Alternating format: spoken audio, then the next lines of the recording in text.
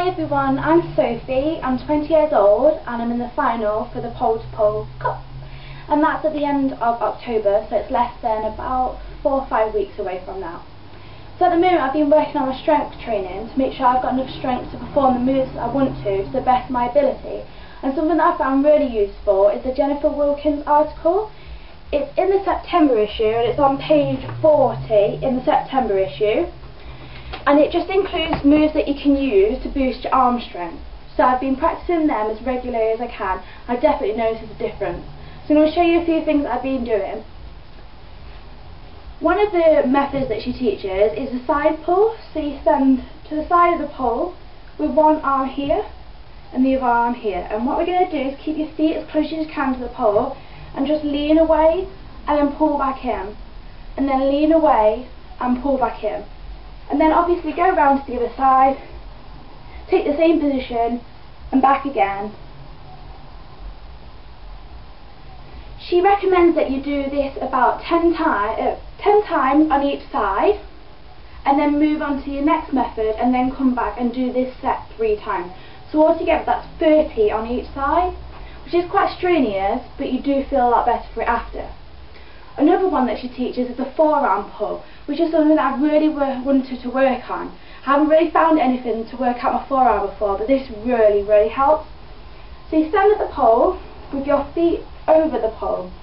The further you go forward, the harder it will be. So if it's too hard, just bring your feet a little bit back in, or even to here. So I'm going to try it around here. And then you take the arm you want to work, and you put it in the middle of your chest, around the pole, and you put your other arm onto your forearm. And what you do is you just pull back and then pull in. Pull back and pull in. And after two of them I can really feel it. So maybe just bring, if you get a little bit tired, just bring them in a little bit more. One, two. And then obviously back to the other side. Feet round the other side. Other hand where your chest is. Other hand gripping the forearm. And then back and back. She also recommends that you do that about 30 times on each side and you can really feel it. It's very good for working out your forearms. I, I really, really enjoy that one. Another one which I do myself, which I've been taught over the years, is a pull-up. Now this isn't about how long you can hold it, as long as you do it properly. So you stand in front of the pole, one hand high, one hand below, as if you were going to climb. And it's not jumping, just pulling yourself up. You want to pull yourself up and hold. You hold it as long as possible and then just slowly back down.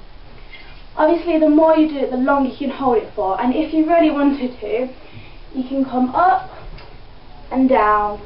Let your feet just touch the floor and then up. That's quite hard and that's something I'm going to carry on working on.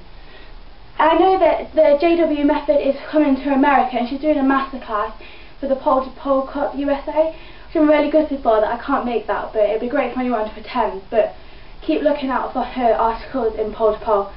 So I maybe put a new video up before the Pole to Cup where I get working on my routine. Thank you.